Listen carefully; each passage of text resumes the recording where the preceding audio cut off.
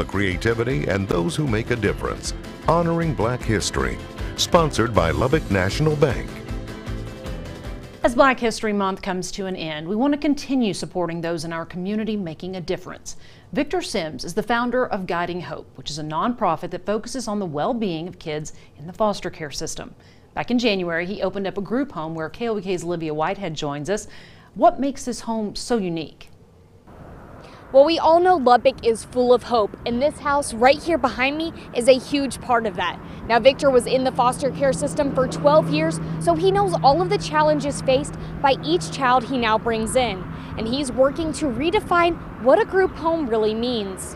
One of the things that um, has made me smile, cry, um, shout for joy um, is most of the kids have like identified us as a family already.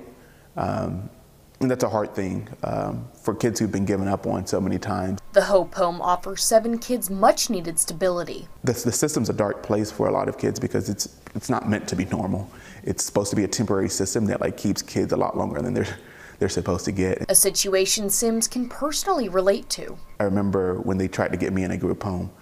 Um, I literally was like, nope. What I will do is I will sleep under the like sleep in this office under this desk. She wanted to change schools. I said I won't go to school until you like find a school that like I actually want to go to, and it's the same school I've been going to. I, I need something to like stay the same, something that's constant. Later, finding that consistency in his mom. I've been uh, very blessed um, just to, to have been adopted.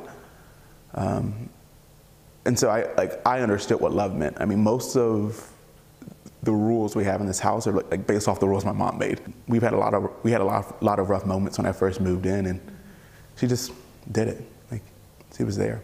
And he has worked to translate that same sense of love to 10701. I've been to a lot of placements, so this feels more of a family than anything else. I don't care who you are, where you're from. Like, there's a way to get involved. There's a way to like show a kid that you love them. Um, and I think like if we can change the way that children see this world, we change the world. Olivia Whitehead, KLBK News. Now, with two 17 year olds, they are working to expand to independent living because, as Sim says, you don't just leave your kids when they turn 18, and he stands by that, and so do other parents.